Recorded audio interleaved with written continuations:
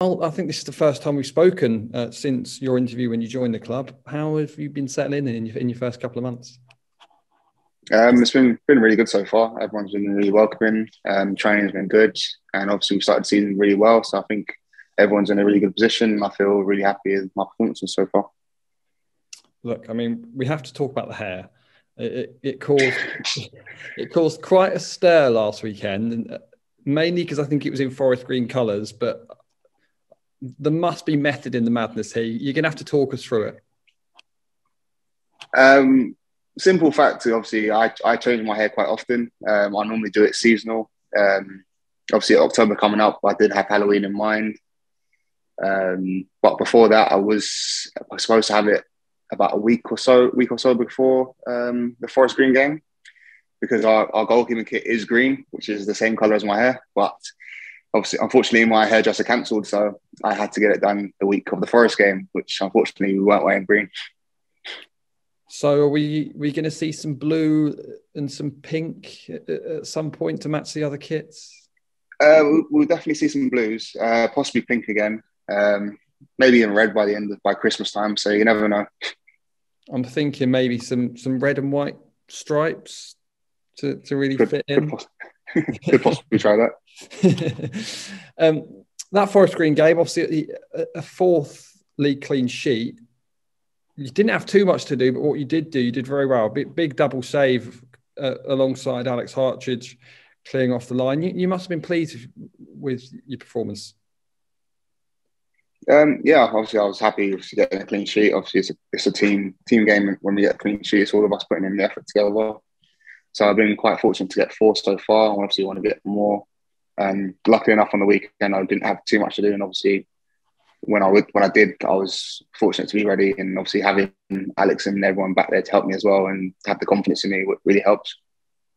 Obviously, there's no shying away for, from the defensive injuries you've got at the moment. You've obviously been been playing with lots of different combinations of, of defenders in front of you. What, what's it been like? Because it, it can't be easy having that back three changing so often. Yeah, it's been it's been unfortunate, obviously, with the injuries. Um, I think a few of the boys are close to return to training soon, but I think we've been quite lucky where we are quite close with each other, and that's something we, are a team where we, we try to look after each other and, and clean up the things that people mess up, and obviously stick together. So we've been quite lucky as a defensive unit where we're all together, and during the week we all get the practice in with the, the team that's going to start and be able to go towards the games and, and feel confident. I imagine this is a, probably a bit where your experience comes in as well. You've had the likes of Harry Kite and Josh Key, who, who aren't natu- naturally central defensive minded players. You must be able, well, obviously, Pierce is a very experienced defender as well, but as a goalkeeper, have you been using your experience to sort of dictate where you want them to be? Yeah, I've been able to um, talk to them. Obviously, been lucky with Josh Key being a defender, uh, right back anyway and a wing back. So him being able to slot in been really helpful. And obviously, Kitey as a as a holding maybe has that role of being in front of the, the centre backs anyway. So it wasn't too hard for him to slot in and, and get that role. So we've been quite fortunate with the people who've actually been able to go into those roles and, and perform really well. So I think we're lucky with the team we have. We've seen on in, on social media in the last couple of weeks, um, Latoya Edgerton, one of our fans, has been cooking meals. I, I, think it started with you, and now she seems to have an Exeter City empire on the go. She's cooking for half the team, I think. How, how did that come about? Um, no, literally just I normally have meal preps. Um, a few places I've been to. Uh, obviously, was trying to find somewhere here in Exeter that like the food, and to be fair, her page popped up on my social media, and I had a look. Um, I gave it a try myself.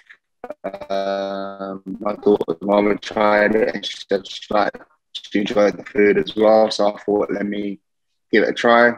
Uh, where I get it from, and I was happy enough to pass it on. And it seems everyone's enjoying it at the moment. So fingers crossed it stays that way. I think we have to have to try it ourselves. It, it does look good, and I, I know Latoya well. I know she I know she's enjoying doing it. Um, on to Saturday's game. Um, Port Vale and Forest Green, two sides we came up with. Um, we've both beaten 4 0. So time to take on Bristol Rovers now. They might be struggling a little bit, but they're a very good side.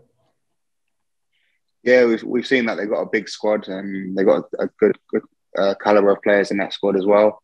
Obviously, they're not had the best start to the season, but that's something you never know. It could be one game, it could be turning point for them, or it could be a good day for us, and that's that's the good thing about football.